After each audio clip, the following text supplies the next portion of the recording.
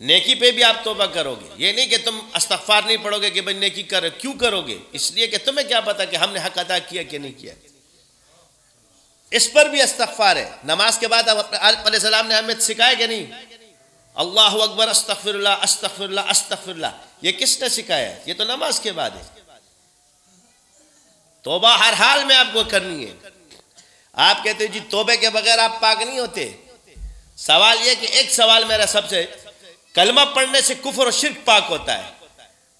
सारे गुना इसमें अल्लाह साहब, जब कुफर और शिरक पाक हो तो गुना पाक नहीं करेगा। गुना तो छोटी चीज़ है, कुफर से और अस्तफार की बरकत से आपके सारे गुना अल्लाह बख्श देता है। ईमान ताज़ा रहता है। ये असल इस चीज़ के लिए, दुनिया तो आपको फ्री में मिल रही है। मकासद क्या है? कि हमारा ईमान ताज़ा रहे। दुनिया तो आपको अल्लाह फ्री में दे रहा है। इन मकासद को समझो कि मकसद क्या है? अल्लाह की रज़ा। आपको अल्लाह की रज़ा क्यों दे? मतलूब दुनिया रखो, मकसद अल्लाह को रखो। तलब आप कोई शे कर लो अल्लाह से, वो तुम्हारा ये मतलूब है, लेकिन मकसद क्या है? अल्लाह। मगर अगर मतलूब भी अल्लाह, मकसूद भी अल्लाह, मौजूद मौजूद और मसजूद तो है ही अल्लाह।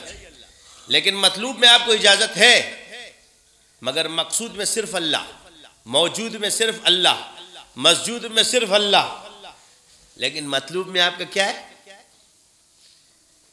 तो इसलिए सूफिया ने मतलूब भी अल्लाह रखा।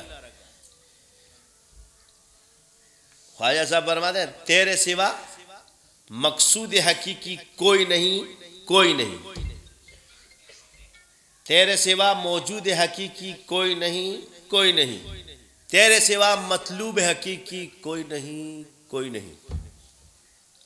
मकसूद मौजूद मसजूद मतलूब।